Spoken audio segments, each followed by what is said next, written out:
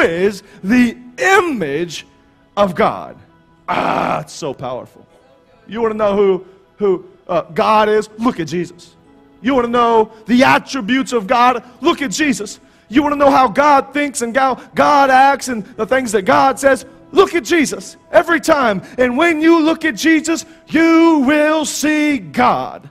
Understand that when we see Jesus, we do see God. And when we see Jesus, who kept the prostitute from being stoned to death, we see the mercy of God. When Jesus brought Lazarus back to life, we see the sovereignty of God. When Jesus preached against sin and warned people about hell, we see the judgment of God. And when Jesus wept, we see the heart of God. And I'm here to tell you this morning that when Jesus walked out of the tomb and conquered death, we see the power of God. When you see Jesus, you see God.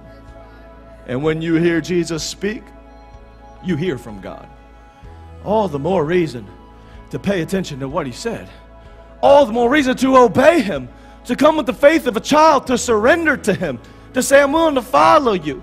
Not to put you in my back pocket, but to bow at your feet and to give you everything. You are the image of God. I'm all in. I'm following you. Submission, repentance, surrender. Say, I'm all in. And when you do that, he reaches down and says, Get up, stand up. You're a friend of mine.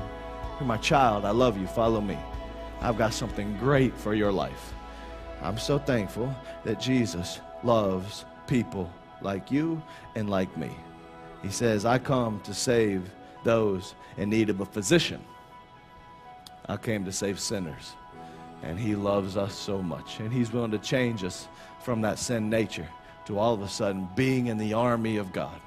To step out and to live different and to fight the good fight. Are you willing to fight this morning? Because God is calling you. Make no mistake about it, Jesus is the image of God.